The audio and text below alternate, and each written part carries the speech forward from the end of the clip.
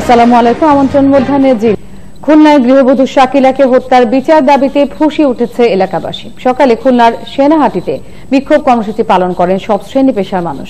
সেখানে মানববন্ধন শেষে বের করা হয় মিছিল। অবিলম্বে শাকিলার হত্যাকারীদের দৃষ্টান্তমূলক শাস্তির দাবি জানান বক্তারা।